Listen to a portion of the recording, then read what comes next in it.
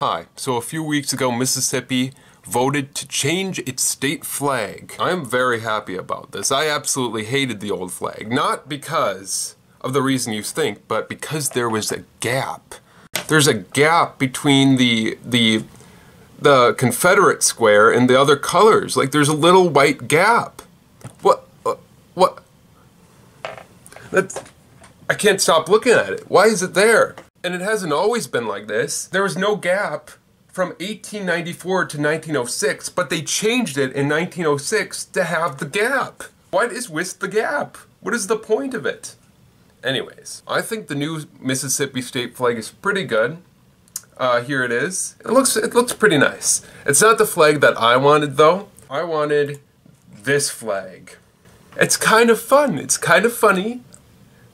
Mississippi must have, have a lot of mosquitoes. I've never been, but it's pretty hot down there. But doesn't that seem like something you would see somewhere? Like, did you know that the Mississippi state flag has a mosquito on it? Canada's flag has a maple leaf on it. That's pretty crazy. Why can't Mississippi have a mosquito flag? Just wait. The story behind this flag is pretty crazy. It was made by this 26 year old guy named uh, Thomas Rosette. He created it in just five minutes, which is amazing. And at first, Rosette submitted this flag as a joke, but it actually made it to the second round. For some context, there was 3,000 flags that were submitted uh, to, the, to Mississippi. Here's my flag that I want. And in the second round, there's only 147, so a pretty serious culling process.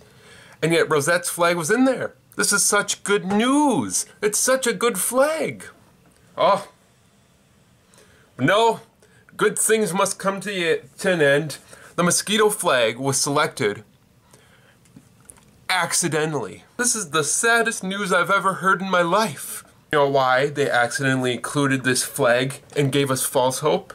It's because of a typo, right? There's a every flag submission got a number and they like had a typo on the on the flag number, so that flag was submitted instead of the.